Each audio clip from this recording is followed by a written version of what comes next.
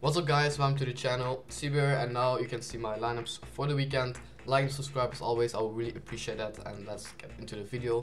First I'll show the midweek results, because there was some uh, midweek football, and we managed to get threshold and still uh, tier 5 index super cap 220, uh, the monthly which is now done.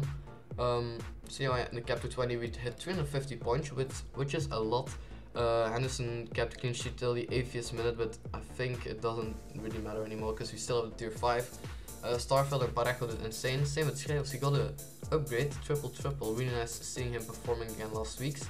Uh, Parejo got a goal, almost 100 score. Starfeld got subbed off in the halftime because he was injured.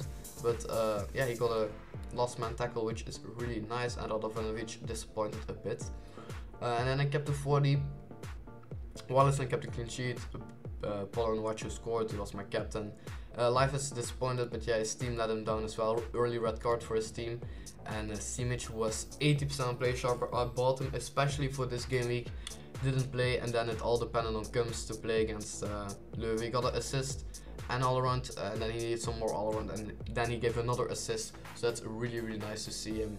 And uh, another threshold, I think the third in a row now, we're getting some momentum again, but the break is almost coming, so that will break the momentum, of course.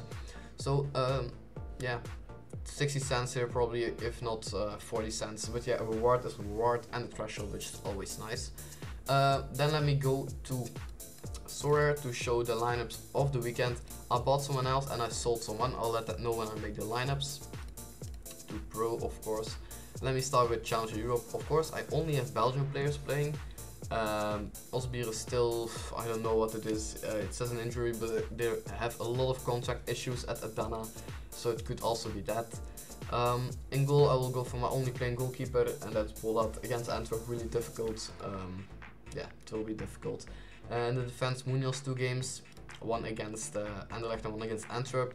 Uh, he might not play one because he's on suspension. If he gets one more yellow card, he will suspend it. So if he gets a yellow card against Anderlecht, he will be suspended against Antwerp. Two difficult games, but he's just a monster. Uh, but Keita, yeah, scores last weeks are pretty decent. Uh, yeah, and not really challenger material, but I don't really have any other options. As you see, Rosowski was the only other option, and his scores are also not that good. In the attack, Wales and Koita with a nice 8 percentage. And as extra player, I went not for McKenzie but for Kayembe because McKenzie will only play against Antwerp. And uh, Kayembe will probably also play only one game, depending on how, how the situation with Arteaga is. Arteaga was sick during the midweek. Uh, he has also a huge trans transfer link to uh, back to his home country, Mexico. So we'll see how that will play out. But uh, Kayembe will surely play at least one game. Koita will be my captain at home against Charleroi. Moving on to cap to 40 and as you saw I don't have a playing goalkeeper anymore so we'll have to do it with a 4 man just like in the midweek so we can do it. Uh, let's select just a TMP goalkeeper. Um, let's select uh, this guy from Incheon. In the defense I went for the Bocat uh, at home against Charleroi with a nice bonus. Bonus really important if you play with a 4 man in cap to 40. Then Rosowski, oh the no game has to go out. Uh, Rosowski, but also nice bonus. Two games, probably play one uh, certain and the other one has to depend on what the coach will decide. Also a really nice bonus. On watch when attack in a quite easy home game I would say. And as extra player I went for McKenzie, who as I said will only play probably one game. But with 12.5 percentage at home against Antwerp, he'll probably still score decent if Gent don't get destroyed. Uh, and on watch will be my captain. Then the last lineup is kept to 20 and uh, yeah, the rewards are back as you see a little, uh, yeah, a lot of entries, but because there's not really that many football um, anymore left, only the Belgian League and some uh, top 5 leagues like the Premier League and the Serie A. In goal I went for Bernd Leno at home against uh, Burnley, should be an easy clean sheet. Let's remove the comments then. In defense, Jules van Cleemput, uh, he's back from injury once again, uh, he's really injury prone, but he probably will start. It's a risiko, but yeah, I don't really have other options, so I want to take the risk.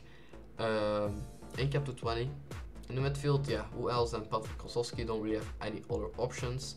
Uh, in the attack, and Benza is also back from injury, and he is also, yeah, not sure to play. So the Charleroi boys are questionable, but I don't really have another option. That's clearly it, and uh, not a lot of points left. And I'll go with Barnes then. Um, 7 percentage, uh, and he will probably play against Charleroi. Uh, but he's also questionable. So really questionable lineup, but it is what it is. Otherwise, yeah, I wouldn't re really have a lineup in here. Benza is gonna be my captain. Um, yeah, a lot of people playing against each other. I think uh, Westerlo play against uh, Antwerp, uh, Keita plays against Bolat. Uh, the Genk Boys play against Keita. Uh, yeah, just a lot. The SVV boys play against the Charleroi boys, so it's really not an ideal week. Uh, wait, what am I scrolling to? Uh, of course, the box uh, special. Let's just enter a lineup. Uh, yeah, why not? If I have people playing, let's see. Marcialo will play. Class will start maybe, or uh, get subbed in shortly, and then Zakiri. Uh, I'll play with this. Wait, used in another lineup. His 2023 card, 2023 card, but he's in a academy. But I'll remove it then and then uh, as extra player could use Rosowski once again. And I'll probably do that actually because I don't have another option. So Rosowski in free lineup but yeah this lineup is probably just a throwaway. Uh, Marcelo will be my captain because he's only one sure to play.